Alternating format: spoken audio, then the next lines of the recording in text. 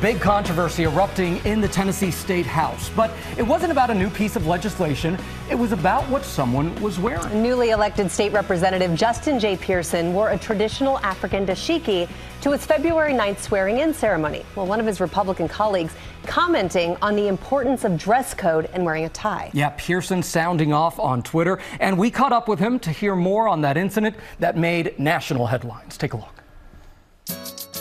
It was quite surprising to have another member on the House floor uh, respond in this way during our session. Uh, it was not expected at all. So, what happened on the House floor? Well, a GOP colleague told a story about the late Lois DeBerry, the first African American woman elected to the Tennessee State House, who once pointed out to him the appropriateness of wearing a tie. Pearson believed those comments were a criticism and took to Twitter saying, A white supremacist has attacked my wearing of a dashiki. Honoring one's ancestors, as I was doing, ancestors who fought in order for me to have this type of opportunity. His comment has very little to do with wearing a dashiki. It has to do with who's there and who's being represented. I'm black, I'm young, I have an afro. This is not typical for the Tennessee State House. Tennessee House Republicans responded to Pearson's accusation of white supremacy with a tweet of their own, saying, referencing the bipartisan and unanimously approved rules for House decorum and dress attire is far from a racist attack. But Pearson disputes that. There are no rules for attire. You can look through the Tennessee State House rules. It doesn't exist. We are in the house. Yes. It is about us being there. That's what they have a problem with. I've worn suits and ties since I was eight years old.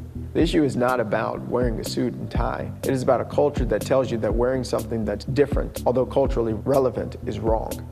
And that is a culture that we must address. We reached out to the Tennessee State Legislature for comment, but they did not respond. A statement from the House Speaker's office noted that DeBerry established a precedent for attire that remains in place today. We contacted the Tennessee House Republicans, but they did not respond. The representative Pearson believes criticized him told us he was simply recounting something Lois DeBerry once told him and did not see any issue of race in his comments. Pearson tells us that colleague has not yet reached out to him, but he has gotten some support. There have been several Democrats who've offered support and encouragement and have also offered to buy me more dashikis uh, that we'll be wearing as well. We have to remember why we are fighting. For now, Pearson says he's concentrating on doing the job he was elected to do. As for the uproar that threatened to overshadow his first day in office, we have to continuously respond to that by being who we are and continue to advocate for the type of state, the type of country, the type of world that celebrates and embraces everyone. Let's go. At age 28, he is one of Tennessee's youngest state legislators. Wow. And, you know, he also told us he really wants to focus on environmental issues now and criminal justice reform. So we are thankful that he sat down with us.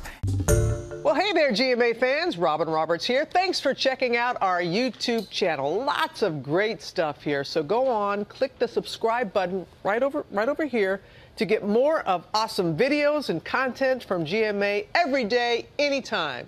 We thank you for watching, and we'll see you in the morning on GMA.